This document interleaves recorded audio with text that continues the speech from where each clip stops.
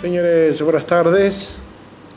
En unos minutos vamos a reiterar el video con, los, con el de la semana pasada, donde estaban los consejos del doctor Miroli, que se ha viralizado y no solamente por nuestro propio canal, sino también por otros canales. Alcanzó prácticamente ya 4 millones de visitas ese video. Vamos con otros temas en el día de hoy. ¿Qué tal, Vanessa? Hola, Germán, ¿cómo estás? Un gran tema en Tucumán. Se conoció el primer caso de coronavirus y sorpresivamente se dio el nombre de una mujer pública conocida que participó muchas veces en este programa como columnista, que es la doctora Lorena Cubas. La indicaban como que era la persona que tenía coronavirus cuando ella no era, y la verdad que fue una sorpresa para todos y para ella, lógicamente, que le pedimos conocer claro. Doctora Lorena Cuba, ¿cómo lo ve usted? ¿Qué tal, Germán? Gusto en escucharlo a usted y a, todo el equipo. Como usted bien lo dijo, tengo gran parte de mi corazón ahí puesto con semejante equipo de primera que usted maneja. Sí, tal cual como, como usted lo decía, Germán, yo fui una de las tantas sorprendidas de, de haberme de haber sido asignada mi persona y mi familia en un caso como este, ¿no? De la pandemia mundial que estamos viviendo. Por supuesto, hoy agradecer a Dios de estar muy bien de salud y permítanme el espacio para aclararlo, al igual que toda mi familia. Y si bien nunca viajé al extranjero, uno también tiene que ser consciente que nadie está exento de que se pueda contagiar, pero no fue ese el caso eh, que pasó conmigo, digamos. Eh, fue una sorpresa verme eh, en las redes sociales eh, como signada que era la persona. Y de ahí en adelante uno se llama la reflexión, qué, qué, valioso y qué importante es hacer un buen uso de las redes sociales, digamos. Y, y, hacía varias reflexiones familiares y quizás desde la tranquilidad de, estar todos bien, pero sí con la gran responsabilidad de, de transmitir eso mismo a la gente que me rodeaba porque imagínese Germán, semejante noticia para todos aquellos que habían tenido vínculo conmigo horas antes o días antes, era preocupante y así lo entendí desde el primer día, por lo cual eh, lo tomé con, con, la responsabilidad que, que, amerita un caso como este de aclarar, de decirles que no habíamos tenido ningún síntoma, nadie de mi familia, por favor se queden tranquilos porque ni siquiera entendía ni entiendo el motivo por el cual este, yo me vi involucrada este, en semejante cosa de tamaña envergadura, ¿no? Eh, y, pero también, bueno, eh, uno se llama a muchas reflexiones. Creo que como sociedad eh, esta, esta pandemia nos ha agarrado a todos desprevenidos e incrédulos pero siento hoy, a la distancia, en la tranquilidad de mi hogar, en este aislamiento social preventivo que nos están pidiendo las autoridades, que ya no tenemos tiempo de excusa. Y esta es la hora que nosotros como seres humanos tenemos que dejar nuestras individualidades de lado y empezar a pensar en el otro, pero sin juzgarlo, sin acusarlo, sin esas falacias que tanto daño hacen, sobre todo en las redes sociales. Entonces nosotros creo que estamos llamados a hacer o nuestro nuestras manifestaciones diarias y para eso en cada entrada y salida de las distintas fronteras o viajes nos están pidiendo a los que hagan esos viajes una declaración jurada. Yo creo que conlleva esa responsabilidad de nuestras acciones y también en algún punto, Germán, estar extremadamente sensibles al sufrimiento ajeno.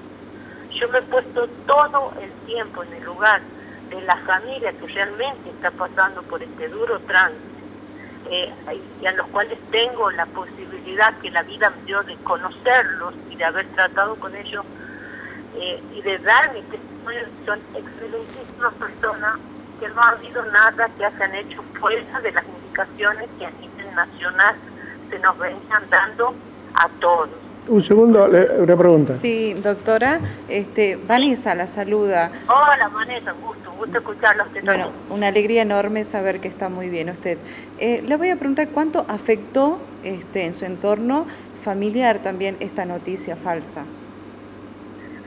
Em, La verdad es que nos afectó, bueno, nosotros con mi marido, con Bernardo Rato tenemos un hijo de nueve años, nos afectó a los tres intereses del, de la, desde el mismo lugar, desde ponernos en el lugar de los otros, de los otros que, que habían este, estado en reacción. En especial más conmigo que con ellos. Y, sí también, porque creo en la verdad y en la honestidad, amerita que yo diga que mi hijo, mi marido sí fueron al extranjero, pero ellos dos y yo no viajé. Y cuando volvieron hicieron la cuarentena. Y yo era la única del hogar que salía a hacer las compras básicas, porque al ausentarse mi hijo ya del colegio, me veía a mí la obligación de también aislarme de mi trabajo para poder cuidarlo. Quizás eso puede haber sido uno de los puntos que también ha, llevado a la confusión de, esta situación. Eh, pero aclaro que ellos hicieron la cuarentena como, como al principio las autoridades habían empezado a dar estas directivas. Su esposo. digo, digo lo mismo, no es lo mismo. Hoy la realidad que estamos viviendo todos como ciudadanos con consignas más claras, hemos tenido que apelar a normativas, a leyes, a decretos, hasta de emergencia, para concientizarnos de una vez por todas que esto es grave y que nos llega a todos. Eh, y en todo momento, y quiero ser concreta con la respuesta a mi pregunta, yo lo personal lo tomé así. Nosotros tenemos la responsabilidad de dar tranquilidad. Cuando uno quiere saber quién es la persona que ha contraído el virus, estimo que es por el hecho de ver la cercanía y cuánto se tiene que preocupar y responsabilizar de lo que lo rodean. En, ante ese caso yo lo tomé desde esa manera. Es decir, a los mis contactos, mi gente cercana, que se queden tranquilos, al igual que todos los miembros de mi familia. Entonces, ¿su esposo hizo ya la cuarentena? ¿Así es, este, doctora? Sí, ya la hizo y ya tiene un certificado médico en su poder y también tiene el pasaporte a disposición para quien lo requiera de las fechas que estuvieron ausentes del país y cuando regresaron tanto él como mi hijo. Y él sí ya, ya hizo la cuarentena y ya finalizó, al igual que mi hijo y ahora estamos todos en una cuarentena, cuarentena social, pero preventiva, tal cual nos requieren las leyes y las normas de nuestro presidente Alberto Fernández. Para terminar, doctora, usted en un párrafo ahora dice que la conoce a la persona que ha sido afectada por el coronavirus en Tucumán. Sí, yo la conozco a la familia, eh, tenés una relación de vecindad, le llamemos, eh, también puede haber sido una confusión y también eh, sé que hay unos pedidos humanitarios de sus hijos de que por favor la gente a través de las redes pare con la difamación hacia sus personas. Eh, y en eso yo invito a la, a la sociedad germana a través de ustedes, si me lo permiten, a que por un segundo nos pongamos en el lugar del otro. Yo creo que por supuesto que yo no las vi esta familia en los últimos tiempos, pero me pongo y hago empatía con lo que están viviendo y deben ser uno de los peores sufrimientos que les está tocando vivir. No mm. estoy al tanto de cómo es el estado de salud ni del marido ni de la señora, pero sí sé que sus hijos están mal, están preocupados y que por los registros formales que existen en el barrio donde ellos viven, eh, ellos en ningún momento violaron la cuarentena. Y todas las atenciones médicas se le hicieron en domicilio y doy fe que a mí me consta porque vi y sé las veces que esa ambulancia del Ciprosa estuvo en la casa.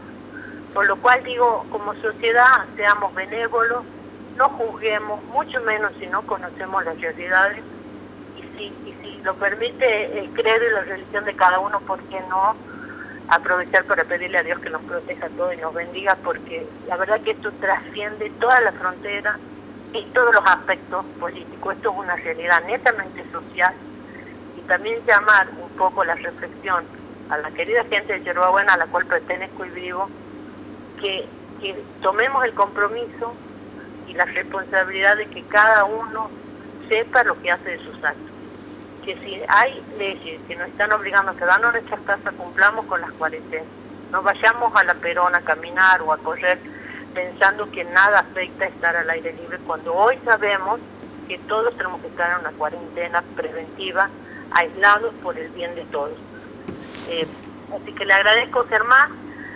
Ojalá esa familia este, nos, nos replantea a todos que como sociedad eh, tenemos que crecer desde otro lugar y a nuestros hijos inculcarle valores que el otro es importante. Doctora Lorena Cuba, le agradezco mucho la gentileza que ha tenido para con nosotros para esta comunicación. Gracias a usted, doctora. Al contrario, y un saludo a todos, muy amables. Gracias. Hacemos una pausa y ya volvemos.